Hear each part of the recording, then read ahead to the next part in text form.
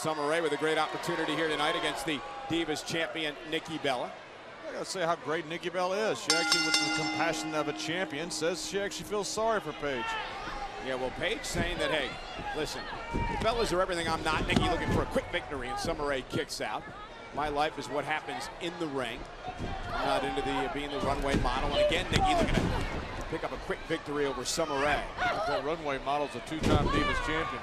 And as is Paige. Yeah, so I was gonna say, so is Paige. You, you couldn't take two bigger polar opposites between the Bellas and Paige. It's like, See what a great Okay. role model this is. push-ups in the middle of a match.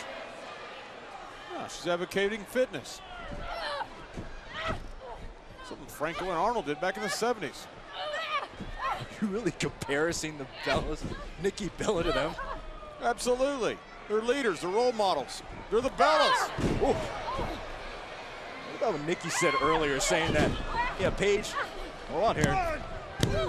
Saying that, Paige, you know what, you can live in your own house, but you live in the Bella's world. I think that pretty much sums it up. I think it's very kind of her to let Paige have her own house and to live in the Bella world.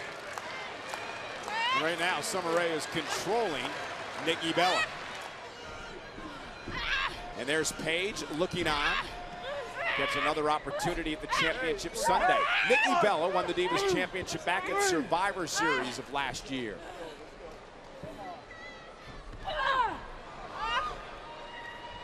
Oh, wow. Here's the thing, I I don't know if what Paige says is accurate that the Bellas are holding down the Divas division, but I know Paige, when she fixates her mind on doing something, you can't deter her. It's a matter of sun in my eyes, shoes untied. It's a matter of excuses. And it's a matter of the rack attack by Nikki Bella. And the question is, will that be the fate of Paige Sunday at Money in the Bank?